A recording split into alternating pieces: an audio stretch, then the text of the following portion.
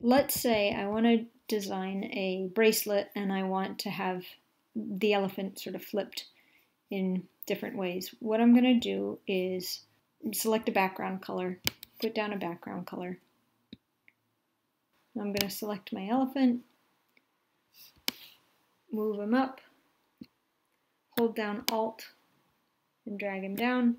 I'm going to flip him vertically because I think that'll look better, but uh-oh, look at this. He took the beads that were there and brought them with him. And now we've got a gap in the canvas. So that's not a problem. I could fill it in like that.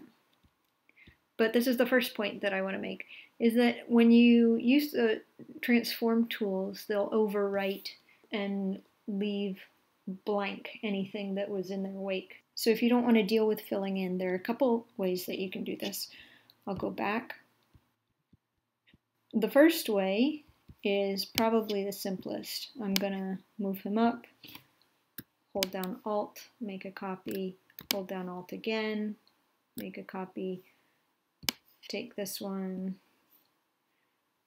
flip it vertically, I'll move them up a little to, to get better space in between them.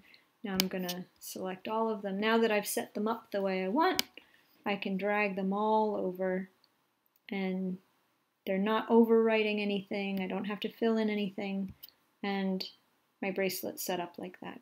So that's one way. So another way to do it would be to move him over.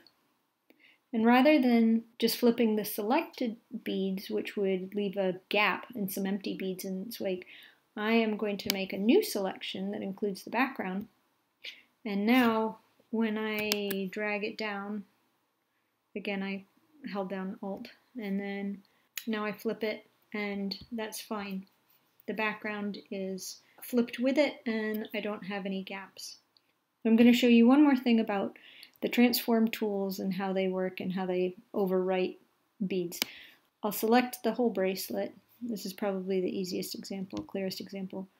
And now I'll rotate left, and you can see a bit of this elephant is cut off, and this part of the bracelet's cut off. I'm going to rotate it again, and you can see that it's it's picked up the beads, and they're not there anymore. That's because it's not covering it, and the, the gray beads aren't there underneath, it's rewriting it. And the same thing, if you go off the canvas, it will crop it like that.